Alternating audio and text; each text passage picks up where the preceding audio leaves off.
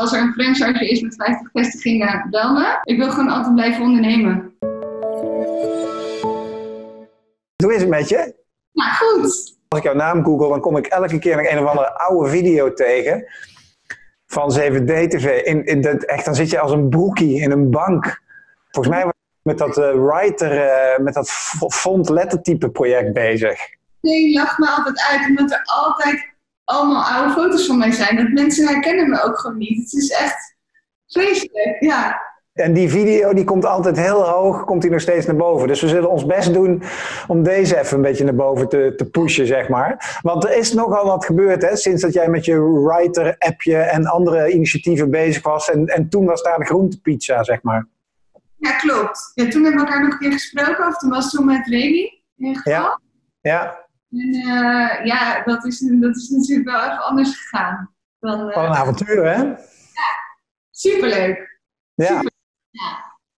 Even, even naar het verhaal is al heel vaak verteld, dus dat hoeven we niet meer te doen. Maar laten we eens even een klein beetje terugschakelen. Want je, bedoel, je bent echt een ondernemer puur zang. Hè? Gewoon vanuit je eigen, in dit geval keukentje waarschijnlijk, of weet ik veel. Gewoon zelf beginnen, dingen uitproberen vanuit je eigen frustratie, dingen doen. En dan uiteindelijk wordt het een succes.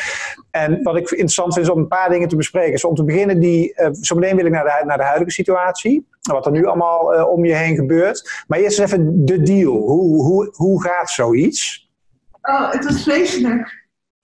het duurt vooral heel lang. Kijk, het is, als je iets begint, dan heb je natuurlijk een droom. En ik heb altijd gezegd, al vanaf het eerste interview, van ik hoop dat ik het ooit mag verkopen aan een grote multinational. En uh, eigenlijk waren wij gewoon lekker aan het bakken. En we waren gewoon hartstikke hard aan het groeien. En toen vorig jaar, nee, ja, dus inmiddels dus, ja, vorig jaar denk ik. Toen ja. kwamen er een grote, aantal grote FMCG-partijen. En die begonnen een soort van te vechten onder Joni. En uh, mijn compagnon en ik keken elkaar aan van ja, misschien is dit dan toch het moment, zeg maar. Uh, en dat hadden we helemaal niet verwacht al zo snel. Dus het was best wel gek. En je compagnon, dat is die, uh, hoe heet hij? Slippens van uh. Ja, want waar kende je die dan weer van? Die kende ik helemaal niet toen, voordat we met Johnny begonnen. Nee. Maar je geloofde al vanaf het prille begin in jou of zo? Ja, hij was investeerder in met Johnny en ja, we deden het eigenlijk een beetje samen hij natuurlijk meer als investeerdersrol, wel als coachende rol. En ik meer in de front, maar wel uh, heel veel aangehaald natuurlijk. Ja.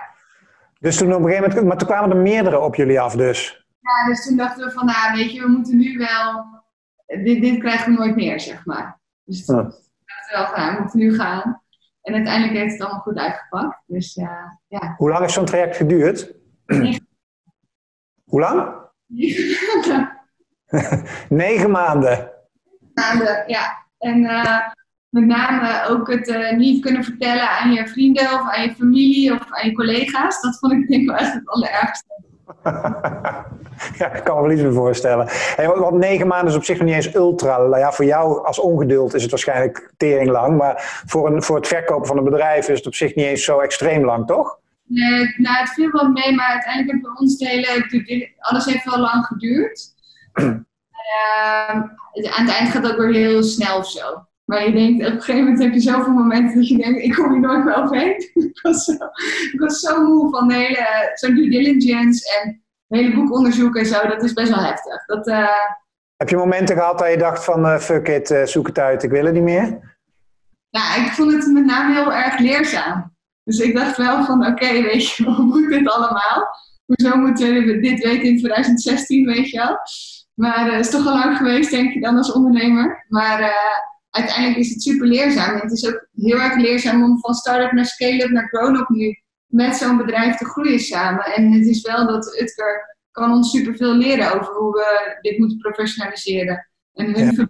natuurlijk niks met wat wij doen. Dus het is wel een enorm leerproces. En ik ben heel erg blij ook dat we wel deze fase in zijn gegaan met elkaar. Ja. Um, want even, even praktisch, want, want het is wel leuk, want ik, ik googelde net even je naam. En toen typte ik uh, Manon van S. En toen kwam er Manon van S. Vermogen. Dat weet ik, ja. En vriend komt altijd omhoog. Ja, maar ben je vermogend geworden? Ja, wat is vermogend? Dat is voor iedereen uh, verschillend. Ja, nou, ik denk niet dat ik uh, mag klagen. dat doe ik ook niet. En ik denk dat ik gewoon een super mooi leven heb. En ja, ik, uh, kan er wel mee door, denk ik. Je blijft ook een Hollander dan weer, hè? In Amerika zou ze het gewoon zeggen. Ja, weet ik. Maar ik vind wel, zeg maar, wij hebben afgesproken met het om er niet over te praten. En Mhm. eh, dat doen we ook niet. Dus eh, ja, dat is de deal. Ik heb ook een beetje verlegen. Maar dat vind jij dus heel lastig. Ja, ik zou je ook niet verder pushen, boeit me verder ook niet. Want je partner is eruit gestapt, hè? Ja, hij was uitgestapt. Ja, een mooi moment om eh, zijn, eh, zijn investering, die heeft hij waarschijnlijk ruimschoots terugverdiend. En die zei van nou, nu ga je maar zelf verder. Toch? Ja. Ja. Hey, eh, en terug, terug naar de, ik zal niet verder pushen over dat bedrag. Ik ben wat tering nieuwsgierig, maar ik zal het verder niet doen. Ehm, hoe sta je er nu voor? Ehm, eigenlijk, we groeien hartstikke hard. Kijk, eh, het ding is natuurlijk, je, ver- je verkoopt iets en heb je natuurlijk targets in je hoofd en je gaat natuurlijk al die targets ruimschoots halen. Eh, we zitten nu wel in een fase met de hele corona, dat ook voor ons is export gewoon nu heel erg lastig. We zijn uit de supermarkten gaan listen in, eh, in Engeland. Ja, dat gaat dan ineens niet. Eh, dus bij ons, bij ons, als je kijkt naar de Nederlandse markt, we zijn op dit moment het best verkopende pizzaproduct van Nederland over alle verse pizza's. Dus dan zou je zeggen, oké, we doen het natuurlijk hartstikke goed. We verkopen echt giga veel eh, pizza's per dag. Dat is ook, als je de trendlijn ziet bij onze omzetten, gaat zo boem. Dus dat is wel lekker. Hoe, hoeveel verkopen jullie er dan per dag? Ik denk nu. Nou, we zeiden eerst zeiden we altijd 15.000 en dat was dan zeg maar in 7.500 packs en dan 15.000 pizza's.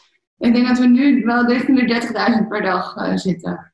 Die bak, je niet meer, die bak je niet meer zelf. Nee, dus ik was pas even in de fabriek, even meebakken. Nou, we staan er gewoon 30 man, 8 uur te bakken. Ja, gelukkig hoef ik er niet meer bij te zijn, zeg maar. We hebben, we hebben even niet genoemd voor de mensen die kijken. Dr. Oetker is, de, is, de, is, de, is de, eh, het bedrijf dat jou heeft eh, overgenomen. Hè?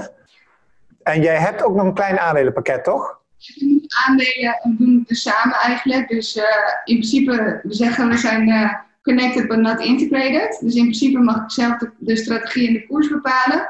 Maar we hebben de back office, dus de hele financiële afdeling, de logistiek, de inkoop, eh, productie, de contracten. Dat wordt eigenlijk geregeld door, eh, door Utker. En wij zijn meer marketing, sales en nieuw business. Dus zo is het een beetje geregeld. En dat is, gaat eigenlijk werken hartstikke goed. En wie is wij? Hoeveel mensen heb je het over?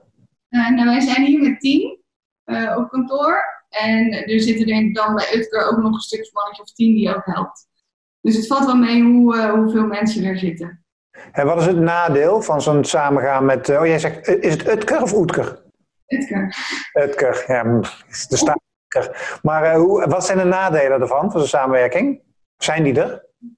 Maar ik vind het, het voordeel vind ik wel dat je een soort van rust hebt. Dus ik had altijd wel dat ik dacht van, nou, als je een keer een tegenvallende maand hebt of je cashflow omzet. En uh, wij deden best wel uh, high risk ondernemen, denk ik. Dus het was wel all in. Um, dan maak je er soms ook wel eens zorgen over. Over je personeel, ga je dat halen? Een klap als dat Engeland dan niet in één keer goed gaat, is dan ineens heel hard. Dus het mm -hmm. voordeel is dat je heel veel rust hebt. Je hebt regelmaat, je hebt orde en structuur. En ik denk dat dat ook je valkuil is. Dus als ik terugkijk naar mezelf, is dat ik in het begin best wel ging pleasen. Ik wil het gewoon heel graag heel goed doen. En daardoor werd ik, uh, denk ik, een beetje tam of zo. En ging ik er niet zo snel tegen in. Uh, terwijl normaliter ga ik altijd wel tegen van alles in. Uh, en ik denk dat je daar een beetje een balans in moet vinden met elkaar. Dus ik denk dat we nu na een jaar hebben eigenlijk steeds meer die balans gevonden. En ga je ook steeds meer de voordelen zien. Want in het begin was het misschien voor ons allebei niet eens een voordeel. Want we moesten allebei heel erg wennen aan de situatie. En nu, uh, nu ja, plukken we echt veel meer de vruchten van elkaar en veel meer profijt. Dus dat is wel, uh, nu ga ik het eigenlijk pas zien. En in het begin dacht ik echt, wat de fuck heb ik gedaan? En andersom denk ik ook, wat voor wijsneus hebben zij nou weer? Dachten ze, maar nu gaat het goed. Want je bent wel een wijsneus, hè? Nou, weet ik niet. Ja, wel, denk ik. Ja, ja maar ik wil gewoon winnen. Dat is gewoon. Waarom? Ik wil gewoon het beste zijn. Ik kan niet uitleggen waarom, maar ik wil gewoon met alles. Ik wil dit gewoon. Zeg maar, ik wil gewoon de nummer één fietsenmerk zijn. Maar, want ze heeft dat er altijd al ingezeten, zeg maar, dat, uh, dat winnen. Ja, vroeger al. Mijn vader zei vroeger, als ik nu terugkijk, was ze vroeger al precies zoals nu. Als je nou, als je het hebt over die dromen en die drang om te winnen. En hoe oud ben jij nou? Jij, jij bent nog super jong, toch? Nee, niet super jong, 32. Super jong. Weet je, ik ben geworden vandaag. Nee. zeg ik ook niet. Maar uh, zo oud al, dat ik het niet meer zeg. Maar uh, hoe heet het? Uh, stel nou dat jij 40 bent, hè? Ja. Waar sta je dan, denk je? Ik hoop wel in mijn eigen league best van Nederland. Zo'n best vrouwelijke ondernemer hoop ik echt. Ik wil gewoon altijd blijven ondernemen. Maar, maar op een gegeven moment ben je klaar met de pizza's. Ja, ja. Dat, dat, dat, dat zou een keer moeten komen natuurlijk, ja. Maar we weten niet wanneer. Nog niet. Nee, kijk, je hebt ook bijvoorbeeld Sarah Blakely, die heeft uh, de Spanx opgezet, haar course in de ondergoed. Die doet dat al 30 jaar en uh, dat gaat super goed. En andere die, die zetten meerdere dingen op. Je weet, niet, je weet het niet, zeg maar. Vooralsnog sta ik op en denk alleen maar aan pizza. Ja. En, uh, we zijn ook nog lang niet, weet je. We zijn nu net een beetje best verkopende product van Nederland. Dat moet natuurlijk ook in andere landen. Dus ik heb nog wel heel veel uitdagingen hier. Hmm. Hey, en uh, want je, jij was bezig om via de horeca iets te gaan doen, toch? Ja, wat we hadden is, we hadden met, met eigenlijk een hele grote voeten gekocht. Dus we zaten op, zouden op elk festival staan. En daar kon helemaal niks meer doen. En we hadden ook wat mensen op kantoor die daarmee bezig waren. Dus we zeiden van, hoe kunnen we nou corona voor ons uh, laten winnen? En een van onze ideeën was, is altijd een idee geweest van, is Majoni omnichannel ja of nee? Dus zijn wij alleen een supermarktmerk of zijn wij een merk wat ook een restaurant heeft en een supermarkt en festivals en veel meer allround? En ik denk wel dat door middel van corona dat je gaat nadenken van, is best wel gevaarlijk. Net zoals restaurants, als je alleen maar offline bent, je, je kan geraakt worden door iets en je bent weg. Dus wij zeiden van, nou, misschien is nu het moment om dat te testen. Met als ultieme idee van, kunnen we niet virtueel franchisen, zeg maar. Dus dat je een, een licentie koopt van Majoni. En je doet een delivery of een Uber iets op jouw locatie. En Joni, ja, die genereert gewoon de klanten en die genereert de omzet. Dus dat zijn we nu aan het testen. Dat loopt eigenlijk ook wel goed. Maar het is wel gewoon weer een leuk coronaproject, weet je wel. En uh, de vraag is van ja, kan dit doorstoten? Dus als er een franchise is met 50 vestigingen, bel me. Want dan, dan kan het natuurlijk nu door. Maar het heeft geen zin om dat per restaurantje door te zetten, zeg maar. Maar als er een grote keten is die zegt, hé, hey, doe mij 50 Johnny locaties virtueel bovenop zijn eigen omzet. Dan kan het ineens wel hard lopen. Maar en wat voor een, uh, want jij kent die wereld, welke, wat, zo'n, wat voor een uh, franchiser zou hierin passen dan? Ik bedoel, moet je dan zo brutaal zijn om een New York pizza te vragen of werkt dat niet? Wat? Ik al gesproken. En? Ja, die zei superleuk maar is vooral goed voor jezelf. en een andere dan? Ja, daar moet ik nog even over nadenken. We zeiden eerst van, uh, we gaan eerst een testcase bouwen. Dus uh, die zijn we nu aan het bouwen met alle data. En dan kunnen we daar gewoon een grote franchise aanhaken. Maar het zal niet New York Pizza worden. Hmm. Leuke vent trouwens van New York Pizza. Ja. Maken die ook groentepizza's inmiddels? Ja, ja. Dus uh, die doen het ook. Wat ik van jou zo hoor, je zei net van, ik weet niet hoe je het noemt, iets van een coronakans of zoiets. Of, ja, wat jij op, en dat is leuk voor ondernemers misschien die zitten te kijken, maar wat ik altijd zo interessant vind aan jou, uh, als ondernemer, is dat jij bent continu volgens mij, ik weet niet of jij wel eens gek wordt van jezelf, maar jij bent volgens mij, ja, ik, ik projecteer nu een beetje hoor, want uh, speaking voor mijzelf. Maar je hebt continu ideeën volgens mij. Van, en als we niet die kant op gaan, dan kunnen we die kant op en dan kunnen we die kant op. Hoe, hoe, um, uh, hoe zorg je ervoor dat zoiets onderdeel wordt van je bedrijfsvoering? Zeg maar? Hoe geef jij dat vorm? Want je kan er ook gek van worden. Ja, kijk, met name uh, wat mijn team ook zegt, van een beetje doen is leuk, maar de hele dag is misschien niet zo goed. dus ik uh, probeer, zeg maar, op, zeg maar, op het team probeer ik niet al mijn ideeën, uh, die zeg ik niet de hele tijd. Dus, dus één keer in de maand is een brainstorm en dan mag ik los. Maar ja, door de week is gewoon bedrijfsvoering en targets halen en ja, ook de doelstellingen halen die we, die we gesteld hebben. En niet steeds een andere koers op gaan. En dat is het risico, hè? Hm? Dat is het risico natuurlijk, dat je inderdaad te vaak wisselt van koers.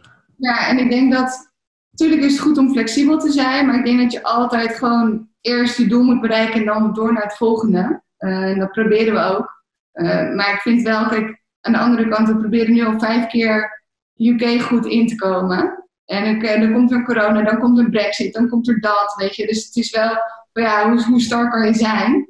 goed, de aanhouder schijnt te winnen. Dus dat, daar gaan we dan maar voor.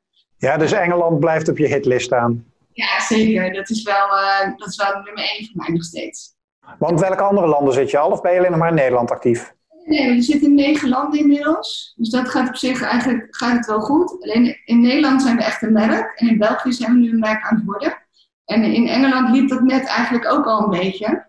Ehm, en toen kwam corona, dus we hadden eigenlijk net zeg maar, echt grote campagnes ingezet, merklaus, influencers aangehaakt, alle ads gereed. Ja, dan komt corona en dan word je uit alle supermarkten gekikt.